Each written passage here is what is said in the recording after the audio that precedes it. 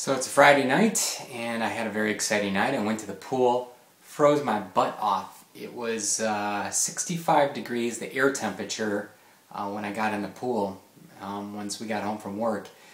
And I know 65 doesn't sound very cold to all of you suffering up in the in the northern, especially the Midwest, but uh, it's cold down here, especially jumping in an outdoor pool. The pool water was pretty good, which I was happy about that. But once I got out of the water, Man, I'll tell you what, I couldn't uh, I couldn't swim fast enough tonight to stay warm, um, but it was good. It was it was a tough set. Um, my, this is a threshold workout, so I had five uh, 200 meter sets as my uh, as my main set section.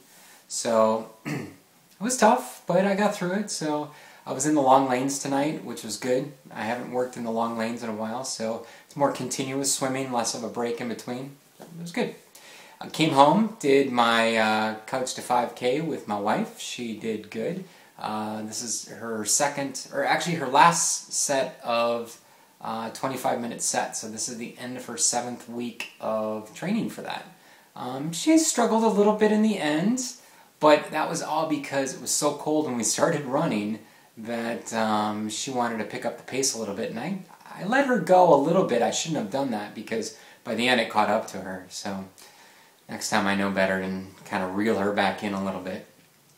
After that, I went for a 40 minute run. It held about a 730, 745 pace, something like that.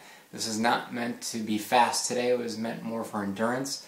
I've been running a lot this week. Um, gosh, I want to say I've been running every day this week, if not once, more than once a day.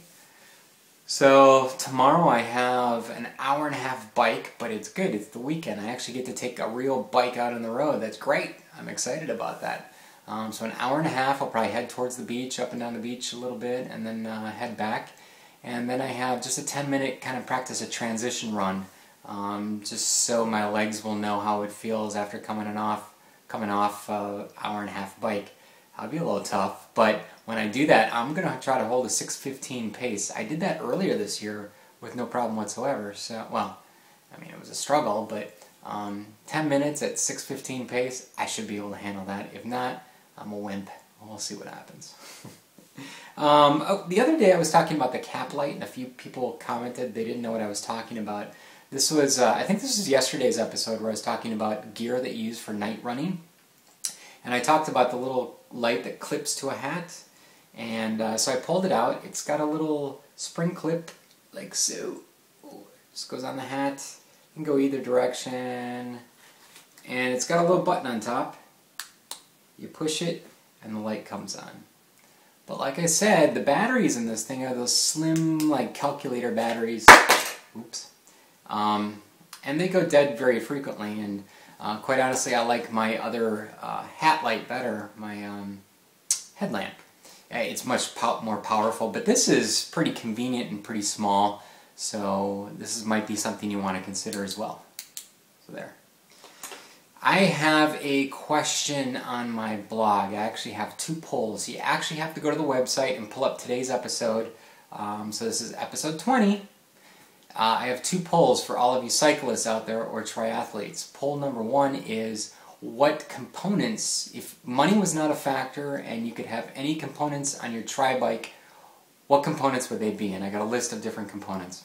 Second question is uh, if money was no object, I'm, I'm going to pose this in two questions. If money was no object, what would be the best wheel set that you would get? And secondly, what uh, would your average wheel set be? Okay, so go to the website, runskiprun.com, episode number 21. Did I say 20 before? I meant 21.